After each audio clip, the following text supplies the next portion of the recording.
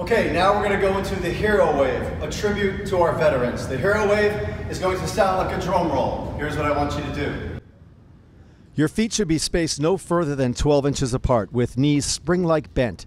Hold the end of the tube securely and start to spring the tubes as if you were recreating the motion of a drum roll. The center of the tubes will hit the ground.